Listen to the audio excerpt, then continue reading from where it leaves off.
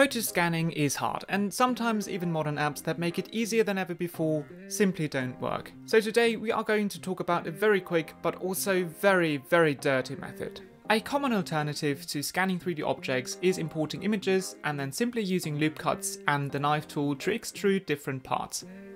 If you are serious about Blender, you've probably heard of this method before. If not, Ian Hubert is the undisputed master of this, so you'll find the link to his channel down below.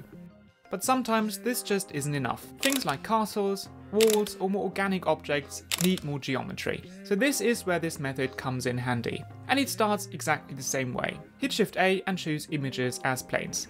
If you don't see it, go to your preferences, add-ons and activate it.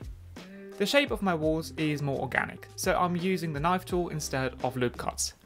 Make sure to stay well within the shape you want to keep, as this is going to make your life a lot easier later on.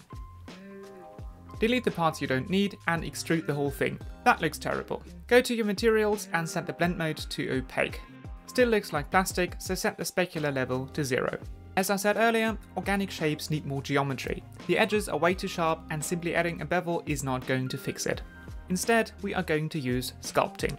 Inside the sculpting workspace, I use the remesh tool. If you want to, you can also use the remesh modifier, just make sure to apply it before sculpting. I've also tried using the multi-res modifier, but that caused weird artifacts. The best way to make the sharp edges disappear is using the scrape brush. If you want your model to look nice, take your time and do it correctly. If you're lazy like me, just make the brush a bit bigger. That already looks a lot better. Now it's time to roughen up the wall. You can either use the built-in brushes and put in a lot of effort, or you can use a free set of brushes that, well, are free and incredibly good. You'll find the link in the description below, and also a great tutorial on how to use them. At this point, a big thank you to Rubberduck on BlendSwap, the creator of the brushes, and the Just Basics YouTube channel for the great tutorial. After importing the brushes, the hardest part is choosing the right brush, as they all look fantastic. Now reduce the strength and simply click and drag. Keep doing this until you're happy. Alternatively, you could also generate a displacement map from the original texture and use it to displace your mesh. But then it wouldn't be a quick and dirty tutorial and also it wouldn't be as fun. Once you're done sculpting, think about reducing the poly count. That not only depends on your mesh, but mainly on your graphics card. Sadly, we are now done with the quick part, now it's time for the dirty part. Turn on viewport shading and realize that you have to unwrap your model again. But don't worry, it's fairly easy. Go to the UV editing workspace and select the big size of your wall. Hit U, project from view and align the UVs until it looks alright. Now do the same thing on the sides and you're done.